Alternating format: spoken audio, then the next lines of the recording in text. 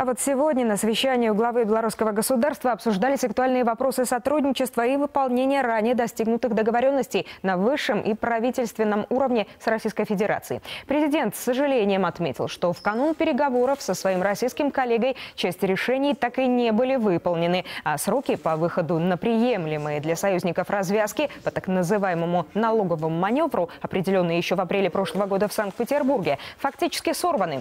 Александр Лукашенко напомнил, что на основе решений двух президентов. Схема компенсации потерь в нефтепереработке должна была быть найдена и утверждена до конца текущего года. При этом, несмотря на заверение союзника, переговоры на уровне правительств были приостановлены, а Беларусь продолжает нести существенные потери. На сегодня они уже превышают 4,5 миллиарда долларов.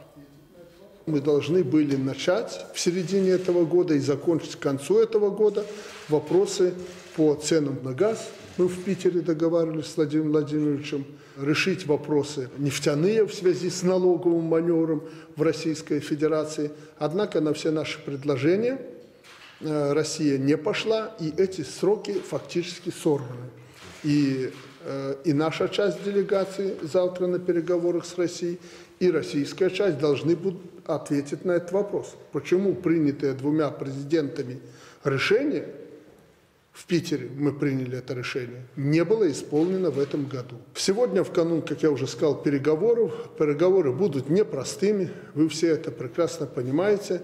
Я хотел бы обсудить с вами, как будем двигаться дальше в решении интеграционных вопросов, непреклонно уважая суверенитет двух стран и особенно выбор наших народов, россиян и белорусов.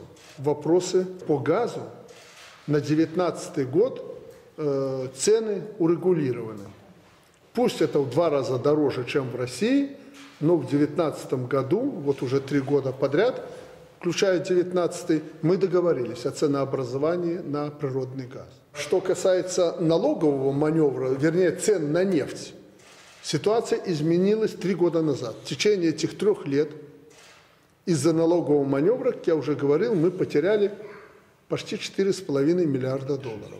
А мы понимаем, что в ближайшие годы, примерно до 2024 года, это еще 10,5 миллиардов примерно долларов, э, мы понесем потери.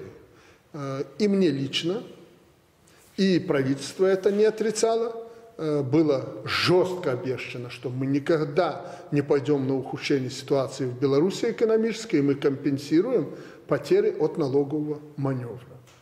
Это были обещания, э, и мы понимали и готовы были вести переговоры, как будут складываться цены на газ. Вроде бы вы на уровне двух правительств э, посчитали все, и было принято решение, и заявление было первого вице-премьера Силуанова, который вел с вами переговоры, что да, э, потери Беларуси немалые, и мы готовы компенсировать эти, эти потери за счет бюджета. И потом вдруг все остановилось. Я хотел бы получить ответ на вопрос, почему остановились эти переговоры, когда, в принципе, все было готово для принятия решения, ну, даже на союзном Совмине в Бресте.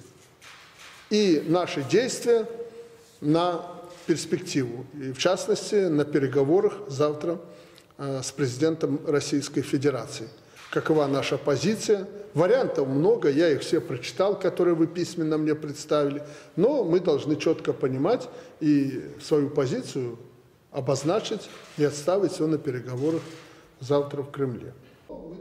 При этом президент обратил внимание, что наши отношения с Россией строятся на системной плановой основе. Утверждены приоритеты союзного государства на ближайшие пять лет, и союзники вплотную приблизились к созданию единого топливно-энергетического рынка и идут к формированию общего правового пространства.